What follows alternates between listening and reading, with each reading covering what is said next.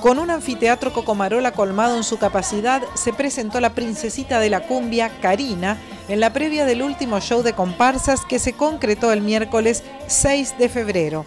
A lo largo de la hora que duró el recital, el público la ovacionó y cantó sus temas en una imponente movida tropical.